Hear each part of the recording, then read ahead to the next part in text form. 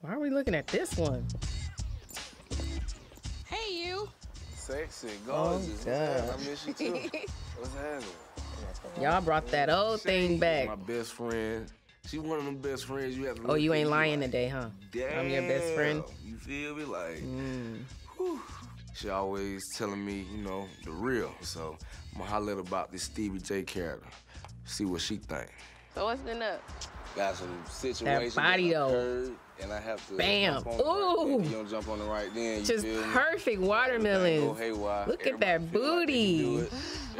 wanna put their I'm hand smarter than that now. That was before up. the I workout. mean, what you talking about specifically? This fool named Stevie J, cause baby mama. What'd he say?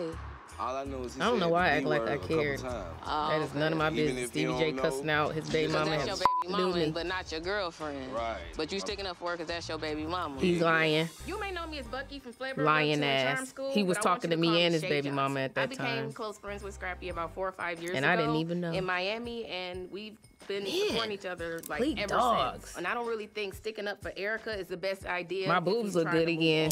You think she gonna feel like y'all got something more than what it is because you sticking up for her like this, or this just I don't care if she told me F you three times a day and told me she hope I die. Somebody mess with her, I'm gonna go over there and handle the business in a good way. same thing with me too? Oh, definitely. Well, I But wouldn't see, even you don't call, I, would, I wouldn't call you for You don't call that. I'm not. Yes, he would have my the back at that time if need be. No, Even after weeks, that. boo-boo. Even when he was down here in Ain't Miami. Two would add some numbers onto that. I ain't gonna even lie about it. Try to keep it on the DL, man. I want this to Try hurry to up. let this grease settle down with me. so and over Erica, this man, You know moment, what I'm saying? like- But me and Shawty, me and Shay, we done came a little bit more than friends. Yeah, because I've known you for years, You know what I'm saying? ass 'Cause I wipe. ain't trying What to is it, 10 years? yet, You've been lying to me for 10 years. Piece of shit. You're not gonna do nothing crazy. I'm not gonna do nothing crazy as long as he don't touch me. You feel me? As long as nobody touch Just me. touch, hit you, nobody don't touch you. Me. Okay. Long I don't think nobody's gonna touch There you. go that I ass again. Focus Just on be my careful. ass. I'm be cool. Tunnel Be vision. careful. Be Don't go crazy if something happens to you. Put some of this on me, please. Really? I ain't gonna tell you y'all what happened What after mean? that scene mean what I and the mean? cameras was gone. Dick good, you feel me? Don't go crazy.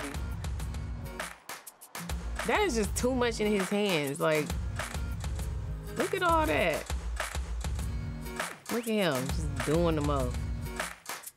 Trust me, I am not thinking of him rubbing on this, rubbing this on me. I'm thinking of somebody Stop else. it. Okay. Stop it. You? Stop it. Don't do all You that. need it everywhere. You did. I need it just on my back and my leg. And my booty. Your booty. leg? And my leg. I was trying to do the You was leg. going on my ass. You wasn't on my leg. I'm on the leg. Why are we Let's go watching this? I'm on the leg. So over this man. I wanna see. Please cut. On the leg. Uh-huh. After the cameras went down that day, I was looking quite cute because we did the nasty.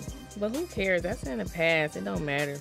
You know what? Before we shot that scene, I was actually crying because I felt like I looked fat and I didn't like how that two piece was looking and I wanted a certain type of cover up. So I was literally bawling, crying. You would have never knew. But once it aired, it went viral. Like everybody was just into my ass and my body. So I guess I looked cute.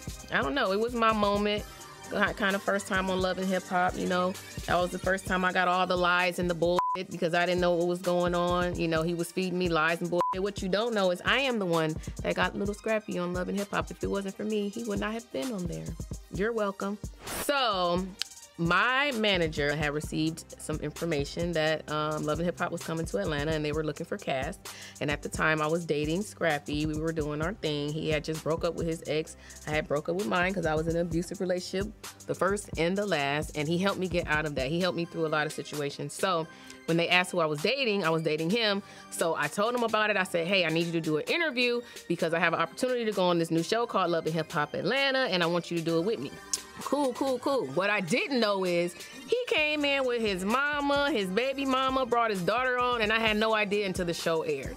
And made the decision to tell them because you know you ha- he had a, I don't know why they made the option up to him, but it's either Shay Johnson or his baby mama to be the main character. He was like, "Well, make my baby mama the main character so I can get off child support." Can you believe that? I put a check on you, a check, money in your pocket. You got bans because of me, and you X out my position. That's just how it goes. It's life. I'll never trust him again. But hey, I have no regrets for everything I went through with that man. It made me who I am today. Would like the world to know that if it wasn't for Shay Johnson, Little Scrappy would not have been on Love and Hip Hop Atlanta. I got on Love and Hip Hop Atlanta first, and I brought him on. You're welcome. He never wanted the world to know. He never gave me my credit for anything, even though that is the past and I'm done with him. But you will know today. But if it wasn't for me, you wouldn't have those bands in your pocket. You wouldn't even be on Love and Hip Hop Atlanta. So I just wanted to tell you, you're welcome, and I dare you lie. Hey, it's your boy Bobby Lytes, and gracias for watching. Make sure you guys subscribe to the brand new Love and Hip Hop YouTube channel so that you can keep up with the 305.